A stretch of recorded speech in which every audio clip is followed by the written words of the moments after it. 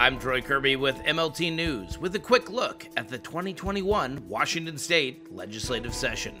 House lawmakers debated engrossed substitute House Bill 1097, which would increase worker protections.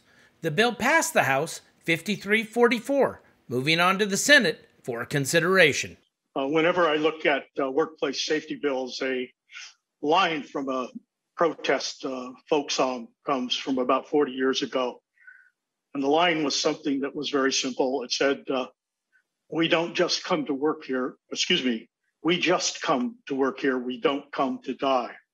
Uh, I, I, was not going to uh, talk on this bill originally, uh, but I think it's important to point out uh, from what we've seen on some of the floor amendments, Madam Speaker, um, we're kind of 50 50 on this. I believe this process of debating on the floor is about um, perfecting the bill. And let me talk to you about a little bit of my mistrust of the regulatory body, Labor and Industries, that regulates uh, these issues. Uh, we built a brand new fire station for about three and a half million dollars.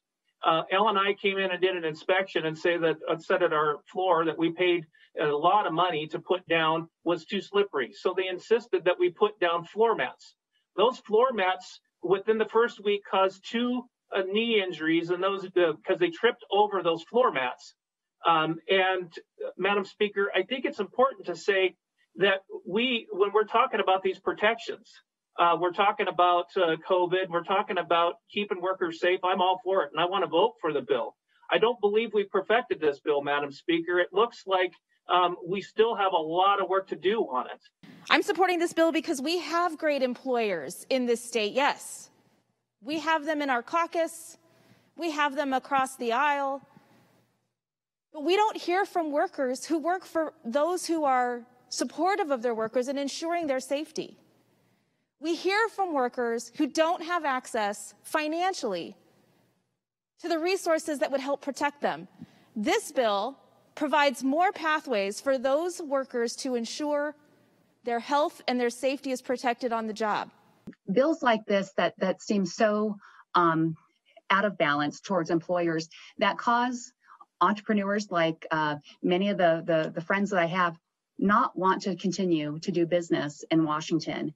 And I am personally witnessing um, the exodus of some very bright entrepreneurs in this state there are, in many instances, real power dynamics at play. I mean, it is employers and employees are not always necessarily on the same footing. In many cases, employers have the power dynamic that puts them at the advantage. The frustrating part listening to this uh, respectful debate today, which I appreciate, is that our employees, as a small business owner, our employees, we consider family it's it's to our advantage and it's the right thing to do to take care of them. So when we see these repeated pieces of legislation come out talking about power dynamics, these are our friends. I, I'm friends with every single one of my employees. I take care of their children when I'm not. I would take care of their dog if they were away. I think it's so frustrating to continually hear how there's this battle between employees and employer. I know there's some bad actors. There's that in many professions. And I, I don't think in anywhere of our arguments are we addressing, you know, inequities and power dynamics being part of the problem. What we're saying is there are inequities in response in, in the law we're creating here. Uh, this bill is very simple. It will protect workers. And this bill is also about racial equity.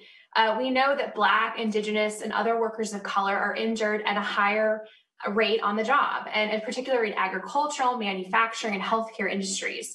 So I think I told you before, I had a brother that owned orchards, hired at least a thousand workers, essential workers.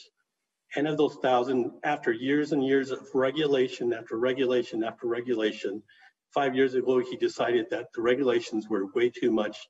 They couldn't make any money doing that and hiring a thousand people at a time every summer, every summer, and every year.